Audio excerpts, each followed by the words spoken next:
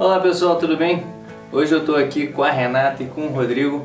A gente bateu um papo para vocês conhecerem um pouco mais da vida da Renata, para vocês entenderem o que aconteceu, o que a levou a estar onde ela está.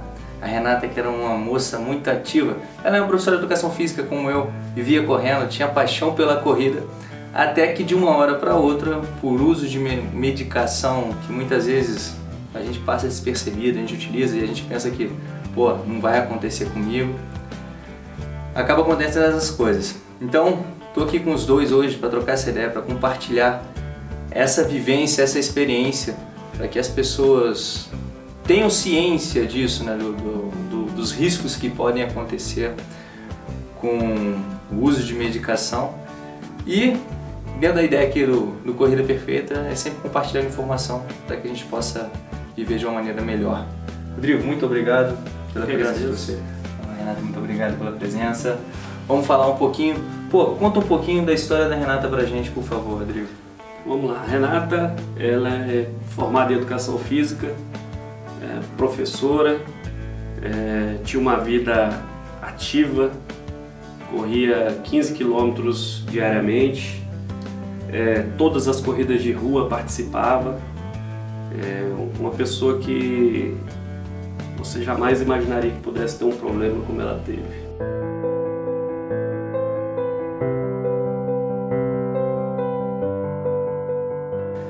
Em 19 de fevereiro de 2015, a Renata se sentiu mal e, levamos ela ao hospital e de forma tardia foi identificado que ela estava tendo um AVC isquêmico de tronco em função do uso de anticoncepcional. É, o trombo ele, ele parou numa artéria, que é uma artéria muito importante para a circulação, para o cérebro, uhum. e ela passou a perder os movimentos, passou a, a, a, ter convulsões, e esse quadro foi evoluindo. A Renata ficou 81 dias na UTI. Esse caso, desculpa te interromper, você havia me falado que por conta justamente desse, dessa vida ativa da Renata, né, ela tem uma, uma vida muito ativa, muito saudável, as pessoas no atendimento descartaram um pouco essa ideia do, do, do AVC. Do AVC, né? É, eles não. Acabou eles... se enganando nesse ponto. É, exatamente. Eles jamais imaginariam que é uma pessoa ativa, com uma qualidade de vida, com uma alimentação saudável, ela pudesse estar tendo um AVC. E então, indiretamente, a gente diz que foi uma negligência em função de não ter pensado na possibilidade do AVC, né? Uhum mas é, eles afirmaram que ela estava tendo uma crise nervosa. Enfim, nosso filho também pratica atividade física e mora fora de Brasília. E, e por conta da saída dele de Brasília, eles acharam que, que isso pudesse. É, que era um estresse emocional e que estava causando um AVC e descartaram a possibilidade do AVC. É. Depois de 18 horas identificaram né, esse AVC. E, e como foi esse pesadelo, cara? Cara, esse foi, foi terrível foi terrível, porque a gente vê o, como a vida pode mudar em, em um segundo, né? Ela estava bem, eu saí de casa, ela bem, quando eu voltei para casa ela já estava passando mal e, e, a gente vê o quadro evoluindo e a gente sem conhecimento técnico não sabe o que pode fazer, como é que você pode Sensação agir. Sensação de impotência, né? Sensação de impotência total e se depender de pessoas que às vezes não têm o mesmo, é, o mesmo sentimento que você tem pela pessoa e acaba deixando o tempo passar e você vendo você tá fica piorando. naquela agonia do negócio, resolve logo isso, resolve, resolve, não vai, né? Me dá um parecer que seja bom, que seja ruim, vamos fazer alguma coisa, vamos agir, né? É. E isso aí foi terrível. Qual foi o passo a passo de vocês depois do, do acontecido? Como é que tem sido essa batalha diária, né? Para recuperação da Renata? Então, a gente passou por um período muito grande de adaptação, né? A Renata ficou 81 dias na UTI e quando ela foi para casa, ela foi com home care para casa.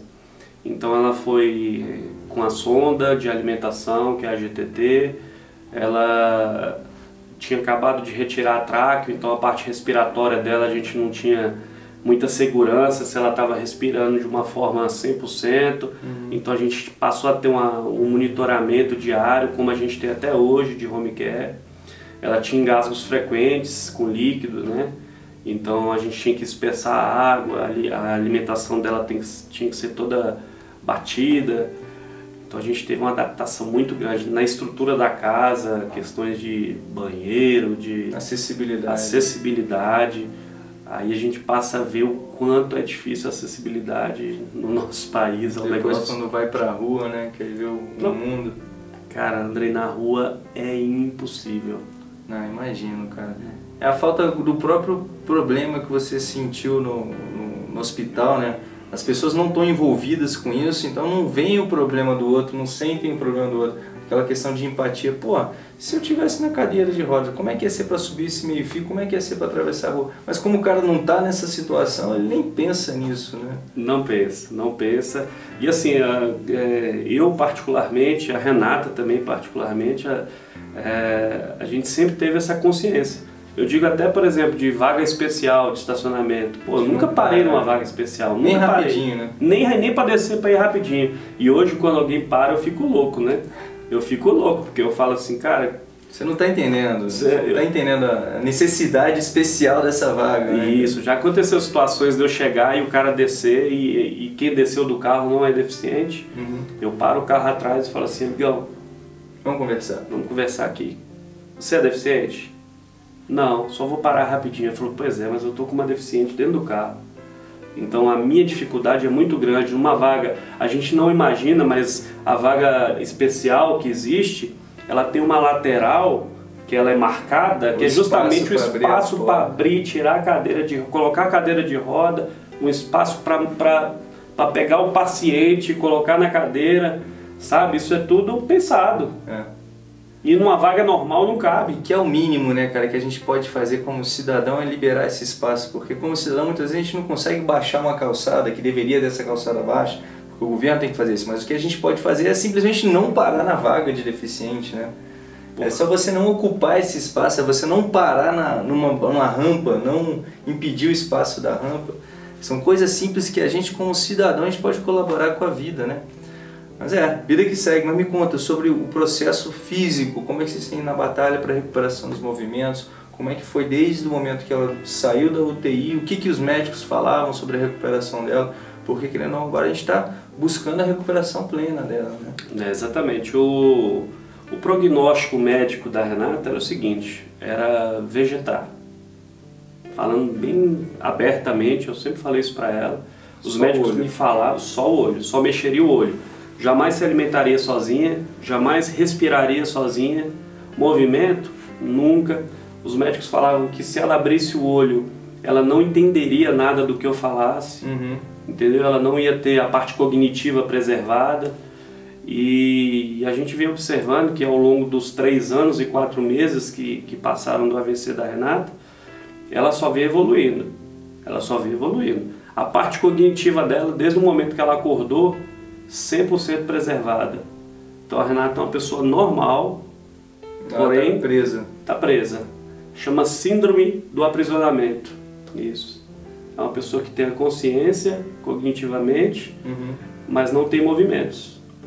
Então a parte respiratória dela, ela usou a tráqueo, ela fez a traqueostomia, porém dentro da UTI mesmo, os médicos que não acreditavam que ela pudesse respirar sozinha, de qualquer jeito tiraram a tráqueo e ela conseguiu manter o padrão respiratório dela por conta de ser uma atleta, uhum. muito importante citar Já isso. tem a musculatura trabalhada. A musculatura trabalhada, a parte respiratória dela, os médicos falavam, cara, é muito desenvolvida, ela é muito preparada.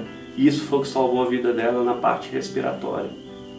É, a parte de alimentação, que, chama, que é a deglutição, uhum. ela no início ela estava bem comprometida.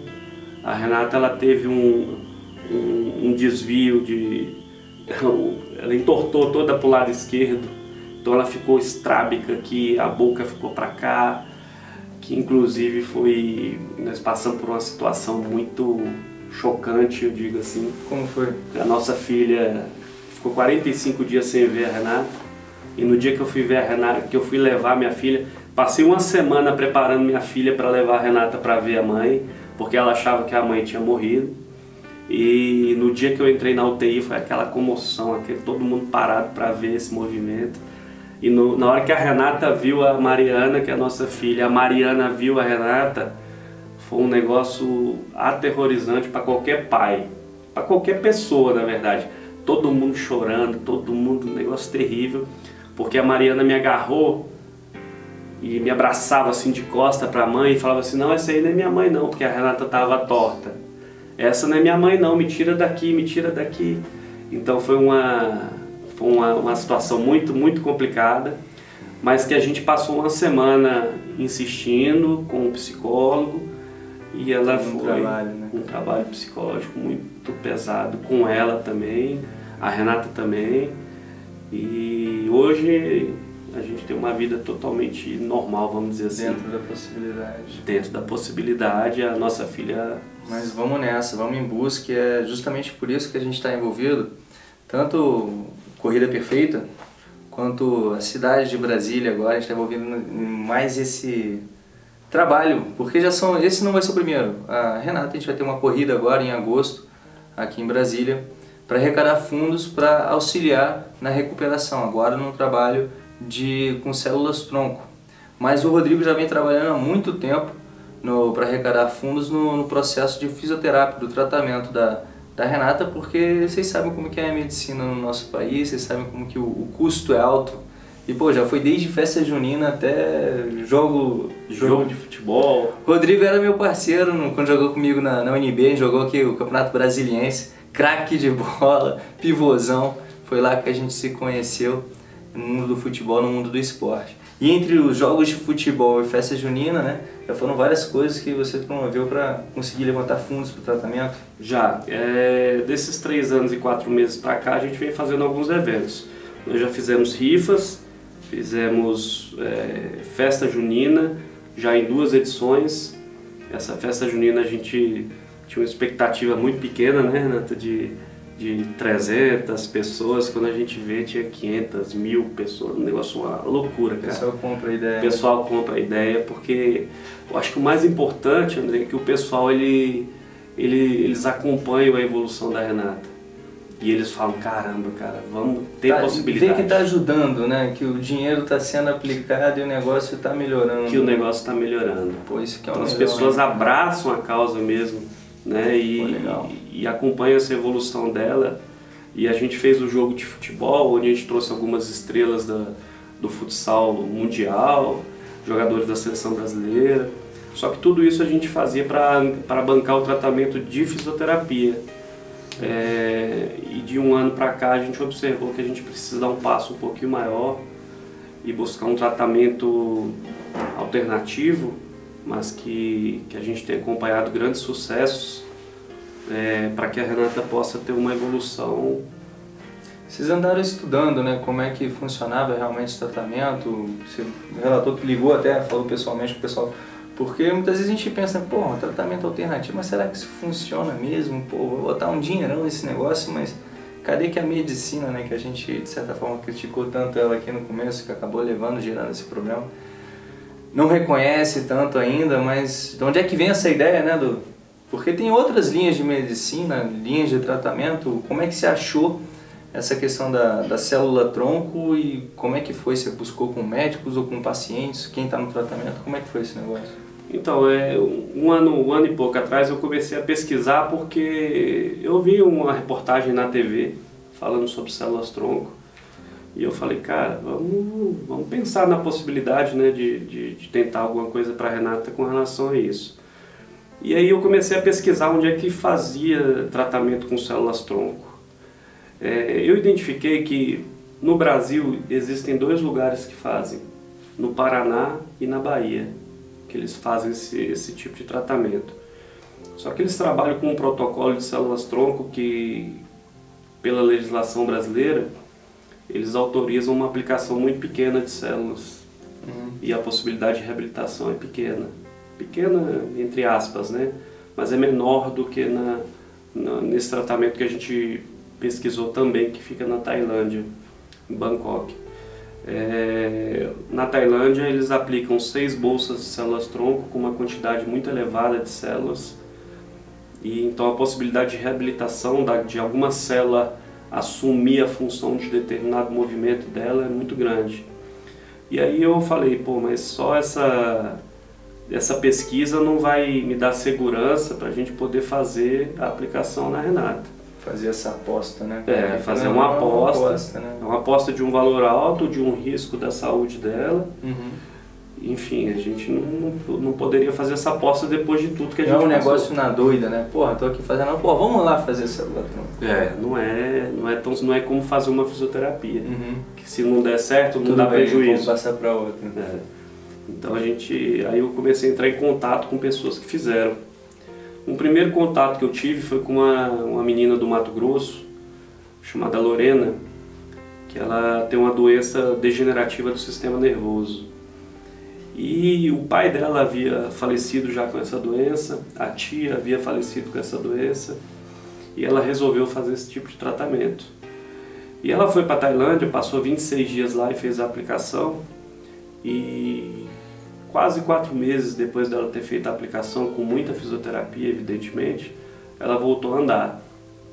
Então tem vídeos, tem matérias em, em, em emissoras de TV famosas. Você já vê só andar, né, cara? Muitas vezes as pessoas não dão valor ao andar, a locomoção, né?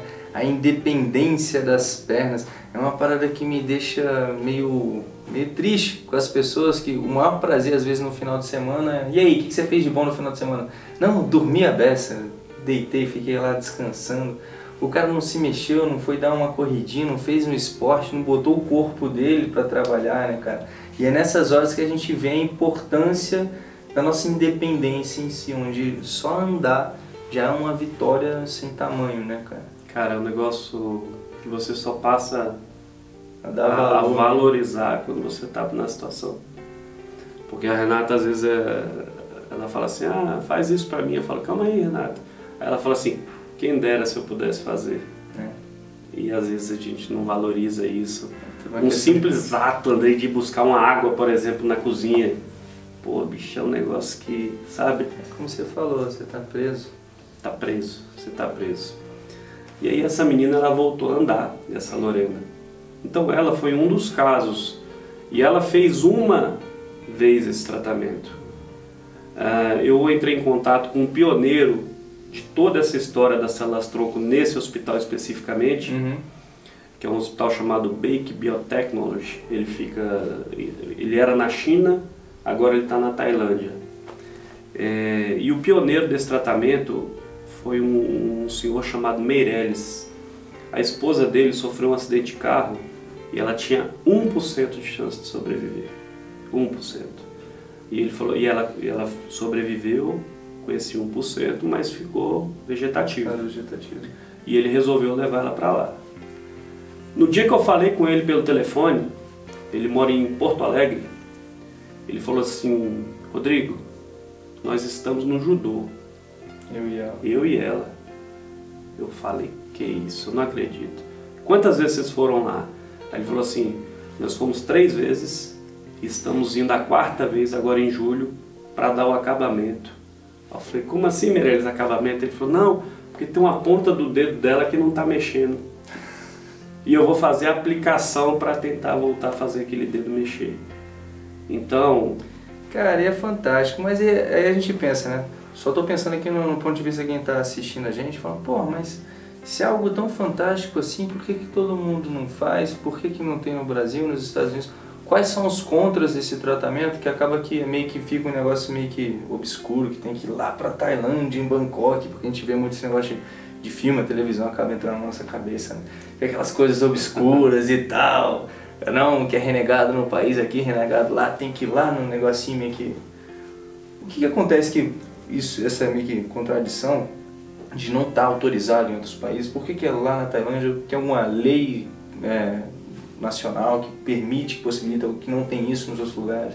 O que você acha que impede o que realmente acontece? é que na verdade na Tailândia não tem a lei que limita o O tratamento. Ela não tem a lei que limita. Nos outros países todos têm uma lei que limita. Por quê? Porque qual é a contraindicação das células tronco hoje? É uma pessoa que tem predisposição ao câncer. Uhum. Então, como você vai aplicar células que o organismo não sabe o que, que é, ele pode transformar aquelas células em células ruins, Uhum. entendeu?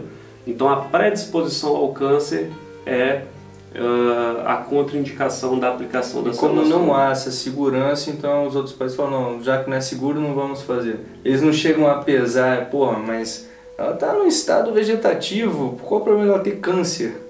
Se eu conseguir permitir que ela corra durante dois anos e depois tem um câncer. E se o câncer é tratável, né? E se o câncer é tratável, né? Essas coisas que o pessoal não, não pesa, né? Mas é foda quando a gente trabalha. É aquele negócio o cara tá fora da emoção, ele não tá sentindo o problema Isso. que as pessoas passam, então ele age, as leis não andam. Tá o quê? O quê? O sobre. ah.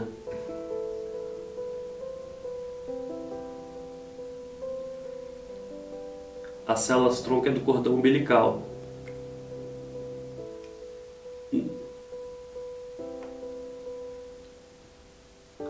entendi. Ela está dizendo que, eu, que o, as células tronco elas são do cordão umbilical. Uhum. Então o risco que você tem é de não ter a garantia de que o tratamento vai ser efetivo.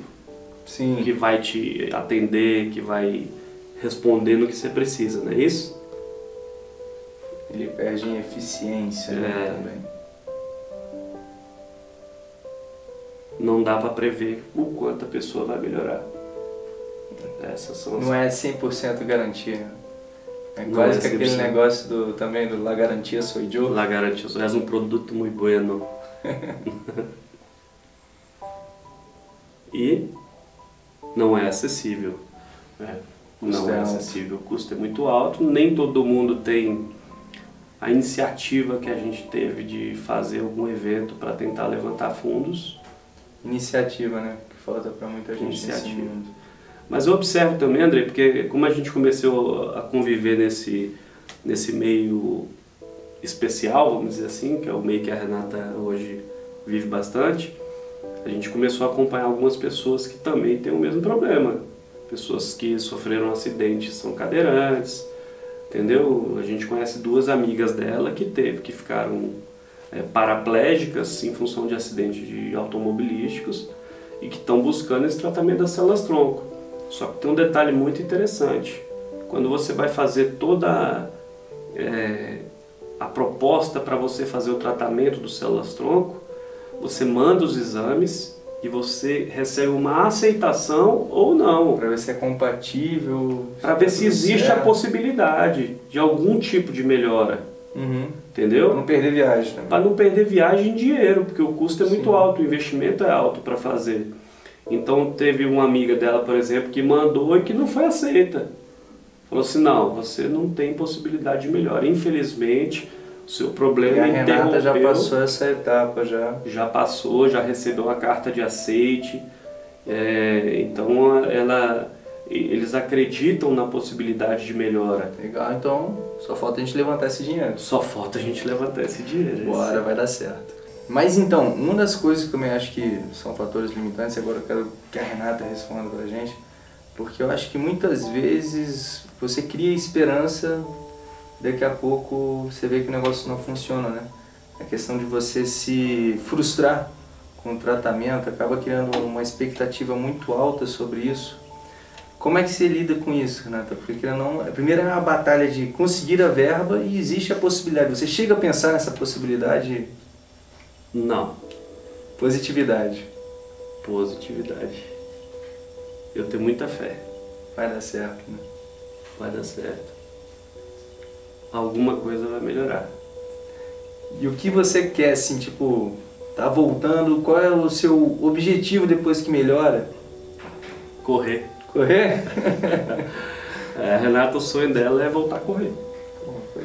A proposta da corrida por que, que surgiu a corrida, né?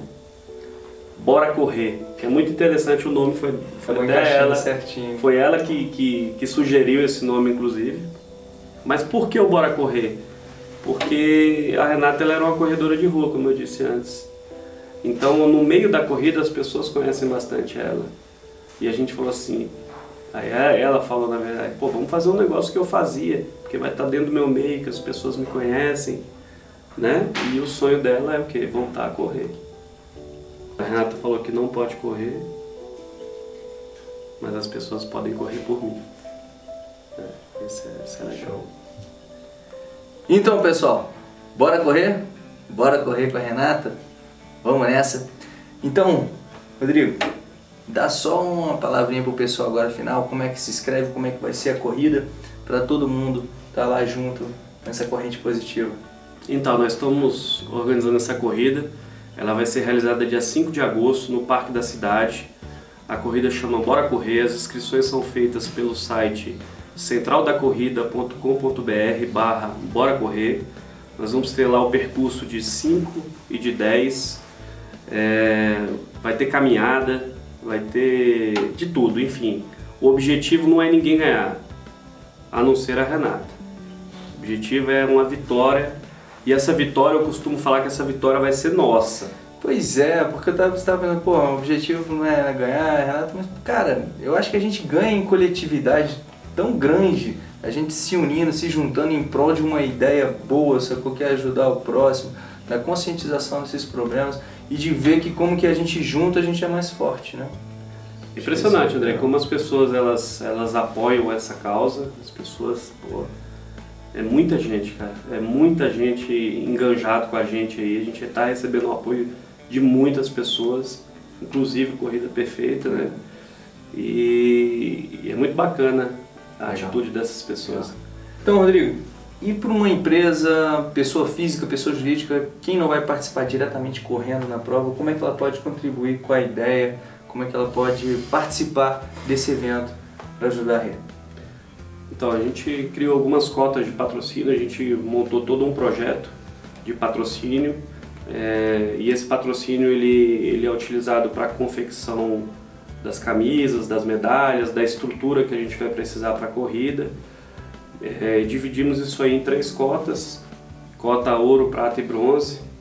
É, e toda a parte de, de, de apoio é direto comigo. E não só cotas com, com valores, não, André, mas por exemplo, se. se uma ajuda em si, né? É, se às vezes o, o empresário tiver alguma coisa que a gente necessita para a corrida, exemplo, água, fruta, igual a gente vai precisar, alguma coisa que a gente possa é, colocar mais dentro do kit do, do corredor, uhum. é, tudo isso aí é, é agregador, é, vai contribuir para que a corrida seja um sucesso. Ah, e aí o contato é direto comigo. É, Por favor, então, passa o contato pra gente. Meu telefone ele é 61 99651 0055. 99651 0055. E o e-mail? Meu e-mail é Rodrigo Bobrov. Complicou. Bobrov é bem melhor, mas, mas, se você não entendeu como é que faz, se liga aí que vai ter o, na descrição como que você pode digitar esse nomezinho complicado. É, é rodrigobobrov.gmail.com Por esse e-mail também a gente tem. E pessoa física da mesma forma que faz essa contribuição, pode colaborar? Pode. A gente tem uma, uma conta da Renata no Banco do Brasil que a gente utiliza só para doações e para angariar, que é a conta que a gente movimenta todo o tratamento dela em geral, que inclusive é a conta que depois do evento a gente presta contas de toda a movimentação bancária que existiu naquela conta, tá? Essa conta ela é no Banco do Brasil, a agência é 10227, a conta é 5831 dígito 9. O nome da conta, titular, é Renata Miranda Rangel, que é essa gata aqui. E o CPF dela, para quem tiver em outros bancos, é 919 688 60134. Essa é a conta para doação. Então, pessoal, muito obrigado a vocês terem acompanhado.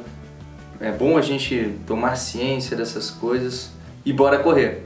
Vou deixar aqui agora para Renata mandar uma mensagem para vocês, fazer o convite dela, falar o que ela quiser falar para vocês. Bora correr. bora correr, gente. Ela ficou com vontade de rir? Hã? A perna sai. Bora correr. Já tá querendo sair correndo. Vamos nessa, pessoal. Vamos que vamos. Um grande abraço e vamos nessa. Tchau, tchau.